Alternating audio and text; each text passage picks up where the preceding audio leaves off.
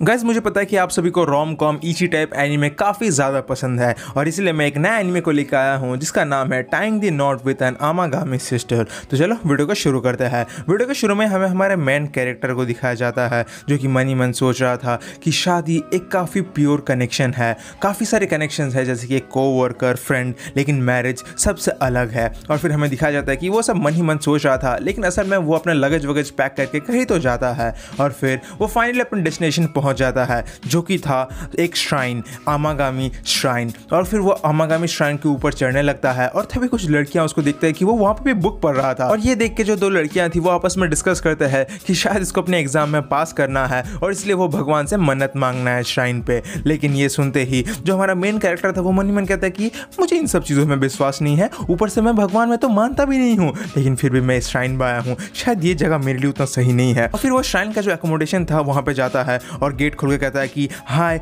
मैं हूँ कामे हाथे और मैं आज से यहाँ पे मूव इन करने वाला हूँ। लेकिन वहाँ से कोई भी रिस्पॉन्स नहीं आता है। और ये देख के ही जो हमारा मेन कैरेक्टर कामी हाथे है, वो आगे बढ़ता है और उसे कुछ भी नहीं दिखता। वो मन ही मन सोचता है कि शायद यहाँ का जो प्रीस्ट है, वो काफ़ी ज़्यादा ओल्ड एज के होंगे, इसलिए उनको सुनाई नहीं दे रहा और इसलिए वो और ज़्यादा आगे बढ़ता है। लेकिन तभी एक रूम से उसको काफ़ी सारे लड़कियों का आवाज़ सुनाई देता है। लेकिन उन लड़कियों का बात सुनकर हमारे भाई को समझ में आ चुका था कि वो लोग अभी चेंज करने वाले हैं, इसलिए वो गेट को खोलता ही नहीं है और अपने जान को बचा लेता है। लेकिन लेकिन लेकिन, तभी उनमें से एक लड़की को कुछ चाहिए था और वो एकदम से गेट को खोल देती है।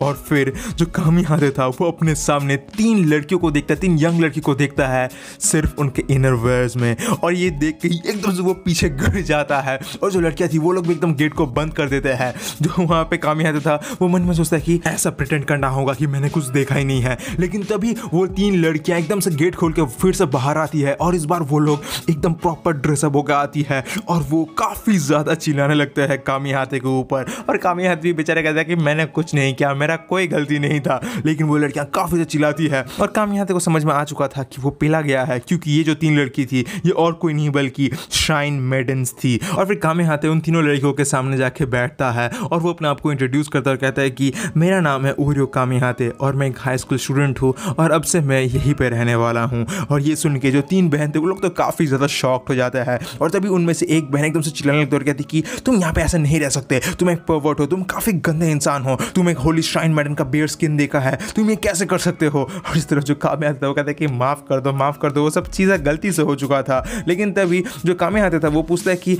बट तो वही जो प्रीस्ट है, वो कब आने वाला है? और फिर उनमें से एक लड़की कहती है कि, वो तो कल ही आने वाले हैं। और इस लड़की का नाम था ये अमागामी। और ये एल्डर डॉटर थी और एल्डर सिस्टर थी इन तीनों बहनों में से।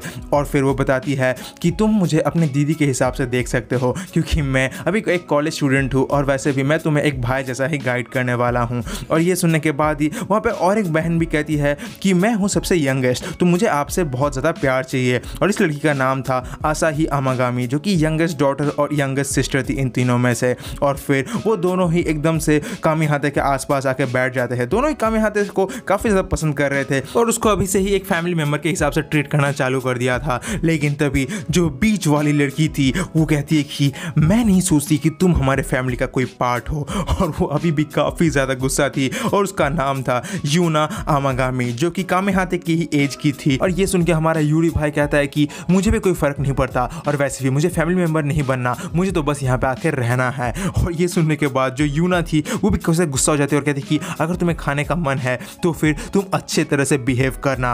और फिर सीन शिफ्ट होता है और हमें दिखाई जाती है जो बड़ी बहन थी ये वो यूरो को उसका रूम दिखाती है। लेकिन वो जैसे रूम दिखा के कहती है कि ये काफ़ी ज़्यादा क्लीन है। वो एक ड्रॉयर खोलती है और वहाँ पर कुछ ज़्यादा ही गंदगी था। लेकिन फिर भी वो कुछ ढूँढने जाती है और तभी जो ड्रॉयर के अंदर जितना भी कार्डबोर्ड के पीसेस थे, वो सब उसके ऊपर गिरने वाला था, जो देख के यूरो एकदम उसको बचाने के लिए जाता है। लेकिन तभी एक ज़ोरदार सा आवाज़ होता है और ये सुन के ही यूना एकदम भाग भाग के आती है उसके रूम पे और जैसे ही वो गेट खोलती है, वो देखती है कि उसकी बड़ी बहन यूरो के सर के ऊपर लेटी हुई है और ये देख के यूना और ज़्यादा गुस्सा हो जाती है और चिल्लाने लगती है। और फिर सीन शिफ्ट होता है और हमें उरी को दिखाया जाता है, जो कि पढ़ने बैठा था, लेकिन तभी उसके पास असाही आ जाती है और असाही आके ही काफ़ी क्यूट क्यूट बातें करने लगती है उसके साथ और कहते हैं कि क्या हम एक दूसरे को जानेंगे नहीं? लेकिन उसी तरफ़ जो उड़ियू था, वो काफ़ी ज़्यादा अनकंफर्टेबल महसूस कर रहा था। और फिर असाही एकदम से उड़ियू का जो बैग था, वहाँ पर चला जाता है और कहता है कि अगर तुम एक असली मर्द हो तो तुम्हारे पास वो सब वाले मैगजीन्स तो होंगे ही। और फिर वो उसका कच्चा पैंट सब फेंकने लगता है और तभी उरी उसको रोकने होने वाला था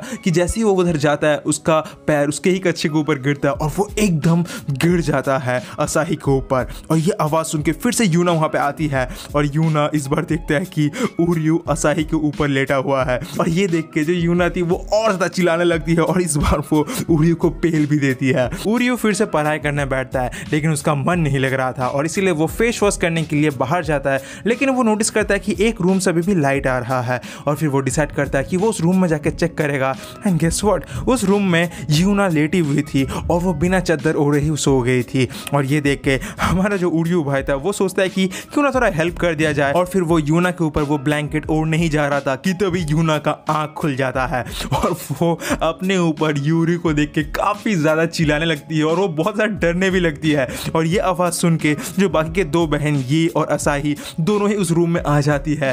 और वो लोग देखते हैं कि यूना के ऊपर इस बार उरियू है और ये देख के वो दोनों फिर से गेट को लगा देते और कहते कि ये बंदा हम तीनों के साथ कर लिया। और फिर वो चारों फिर से एक साथ बैठते हैं और वो यूना से पूछते कि इतना रात को तुम क्या कर रहे थे? और फिर हमें दिखाया जाता है कि यूना असल में ओरिगामी बना रही थी अपने हाथों से। और ये देखिए उरियू कहते हैं कि तुम ये सब क्यों बना रहे हो? ये सब लकी चार्म्स तुम्हें तो इन सब करके कोई पैसा भी नहीं मिलने वाला है। लेकिन तभी जो यूना थी वो कहती है कि ऐसी बात नहीं है। ये सब मैं इसलिए बनाती हूँ ताकि यहाँ पे जितने भी भक्त आते हैं, वो लोग को मैं गॉड के साथ और ज़्यादा कनेक्ट कर पाऊँ। और फिर वो सब लोग बोलते हैं कि यही तो एज अ श्राइन मेडन हमारा काम है कि जो विजिटर्स है, वो लोग गॉड से और ज़्यादा कनेक्ट कर पाए। लेकिन तभी वो नोटिस करता है कि वो सब अपने हाथ में एक रेड स्ट्रिंग बांधे हुए है और वो पूछता है कि ये रेड स्ट्रिंग क्या है? और फिर वो तीनों बहन बोलते हैं कि ये असल में उनका मॉम ने उनको गिफ्ट किया था जाने से पहले। और जाने से मतलब इस दुनिया से जाने से पहले। और यूना बताती है कि भले ही वो यहाँ पे नहीं है, लेकिन इस स्ट्रिंग की मदद से हम उनके फीलिंग के साथ हमेशा अटैच्ड है। लेकिन तभी यूना पूछती है कि तुम इतने रात को क्या कर रहे थे?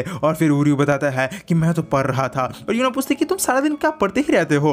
और तभी उरियू कहता है कि ऑब्वियसली क्योंकि मुझे क्योता यूनिवर्सिटीज़ का मेडिकल कॉलेज में एडमिशन लेना है। और ये सुन के तीनों बहनी काफ़ी ज़्यादा शौक हो जाते हैं। बट कहते हैं कि तुम एकदम परफेक्ट जगह आए हो, क्योंकि श्राइन में एक ऐसा गॉड भी है जो कि एग्ज़ाम में सबको पास करा देते हैं। तो तुम्हें चिंता करने की कोई ज़रूरत नहीं है। और ये साल का वो समय है जहाँ पे मेरेकल भी होता है। एक मैजिकल स्टार शावर और लेजेंड्स के मानो। तो इस टाइम पर तुम जो भी विश करते हो, वो सब कुछ सच हो जाता है। और ये सुन के उरियू कहता है कि, तुम पागल पागल हो क्या? और फिर वो इस स्टार शावर के पीछे का जो साइंटिफिक लॉजिक है, वो समझाने लगता है। और ये सुन के यूना इतना ज़्यादा गुस्सा हो जाती है कि वो कहती कि, मैं तुमको कर्ज दे के ही मानूँगी। तुम बिल्कुल गंदे बंदे हो। मैं तुम्हें कर्ज दूँगी ही। और फिर हमें अगले दिन का सीन दिखाया जाता है, जहाँ पे श्राइन में काफ़ी सारे लोग प्रे करने आए थे। लेकिन उसी तरफ़ जो यूरू था, वो कहता है कि, मुझे ये पूजा पाठ वाली चीज़ों से बिल्कुल भी भरोसा नहीं है। मेरे ख्याल से ये सब कोई सेंस नहीं बनाता। और मैं एक प्रीस्ट का लाइफ तो इमेजिन भी नहीं कर सकता हूँ। लेकिन तभी हमें दिखाया जाता है कि जो यूना थी, वो एक फॉरेन बच्ची को इंग्लिश में कुछ बताने की कोशिश करती है, लेकिन उस बच्ची को कुछ समझ में नहीं आता।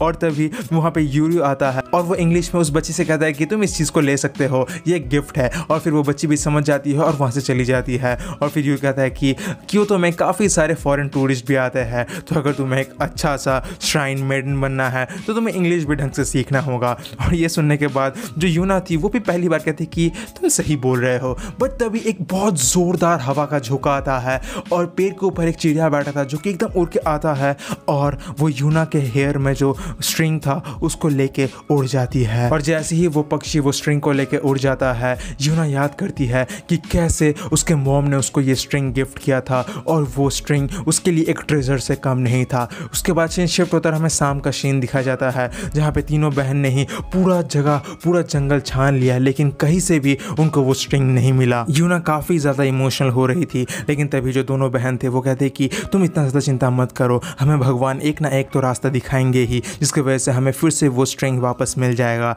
लेकिन तभी वहाँ पे एकदम से यूरो आता है और कहता है कि, क्या तुम लोग पागल हो? ये सब रियल लाइफ में ऐसे वर्क नहीं करता। भगवान तुम्हें जो तुम विश करते हो, वो नहीं दिलाएँगे। तुम्हें खुद को काम करना होगा इन सब चीज़ों पर और ये कहते कहते अचानक से उड़ियो को एक फ्लैशबैक आता है, जहाँ पे वो बचपन में एक टेंपल के सामने एक श्राइन के सामने खड़ा हुआ था और ये सब सुन के जो यूना थी वो काफ़ी ज़्यादा गुस्सा हो जाते और कहती कि तुम ऐसा नहीं बोल सकते, तुम भगवान के बारे में ऐसा नहीं बोल सकते। और फिर वो जाते जाते कहती है कि तुम यहाँ पे ज़्यादा दिन तो नहीं आए हो, लेकिन मुझे पता है कि तुम यहाँ पे बिलोंग नहीं करते। और फिर सीन शिफ्ट होता है और हमें उरी को दिखाया जाता है, जो कि अपने मन ही मन सोच रहा था कि अगर इतना जल्दी ही हमारे बीच में इतना ज़्यादा दरार आने लगे तो क्या सच्ची में मैं यहाँ पे बिलोंग नहीं करता? और फिर उसके रूम के बाहर ये और असाही आती है, लेकिन जैसे ही वो लोग गेट खोलते हैं, वो लोग देखते कि उरियो तो तो अपने रूम में था ही नहीं। लेकिन तभी ये का नज़र जाता है एक फ़ोटो में, जहाँ पे ऊरियो अपने मम्मी के साथ था और उसकी मम्मी हॉस्पिटलाइज थी। और फिर असाही पूछती कि ग्रैंडफादर ने तुम्हें ये के बारे में क्या बताया था? और फिर वो बताने लगती है कि ये के बारे में बताया था कि वो बहुत ही बचपन में